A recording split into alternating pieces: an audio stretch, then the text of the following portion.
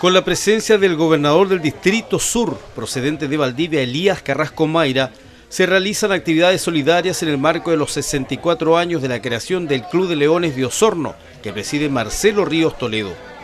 Una de ellas se centró en una visita al hogar de Niñas El Alba para compartir con las menores en situación de vulnerabilidad social. Los leones, en, términos generales, somos personas comunes y corrientes como el resto de, todos nuestros habitantes, pero nos une en espíritu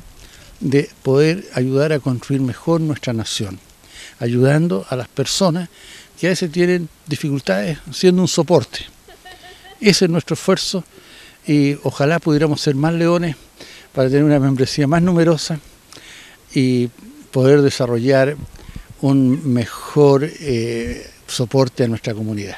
Para el presidente del Club de Leones de Osorno, Marcelo Ríos, la entidad fue fundada un 26 de marzo de 1949 y la mejor celebración la realizan con las menores del hogar de Niñas El Alba. Las niñas cuando tú llegas se te acercan, eh, te abrazan,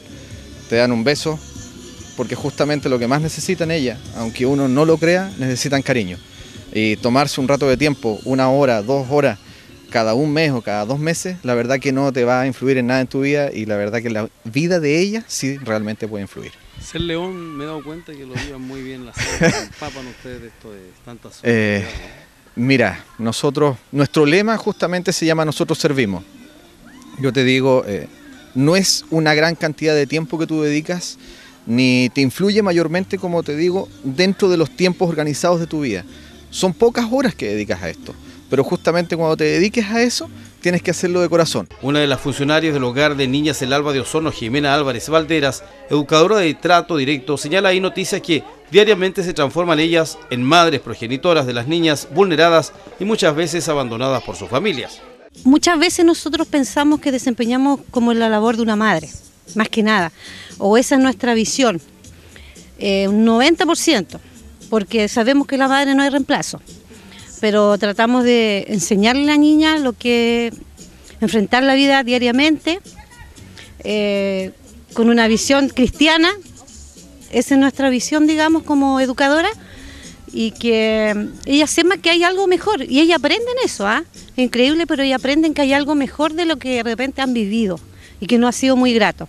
Para el director de la Fundación El Alba, Claudio Bamón de Sobarzo, la labor del Club de Leones hacia ellos es admirable. Estamos muy contentos y agradecidos del trabajo que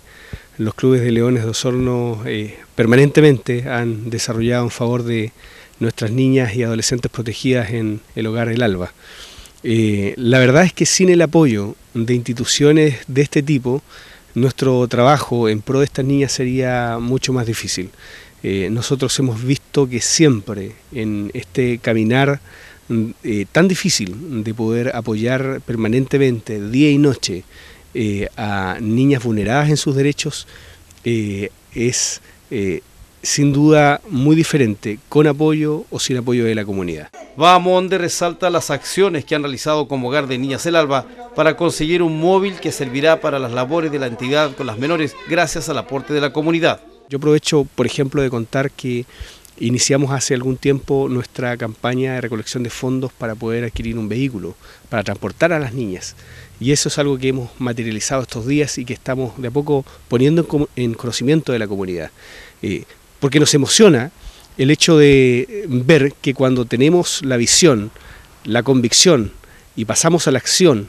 en beneficio de las niñas, la comunidad también se involucra y instituciones como el Club de Leones de Osorno eh, también ha estado permanentemente eh, dándole forma a estos sueños para que se transformen en una realidad. Los integrantes del Club de Leones de Osorno cuentan con 22 socios y un comité de damas colaboradoras y quienes trabajan permanentemente en campañas como del libro, banco de alimentos, banco de córneas, operativos oftalmológicos y de apoyo a hogares de beneficencia como el Hogar de Niñas El Alba, Hogar Los Tilos, la Fundación Mi Casa y Comedor Abierto La Sierva de Jesús, entre otras entidades.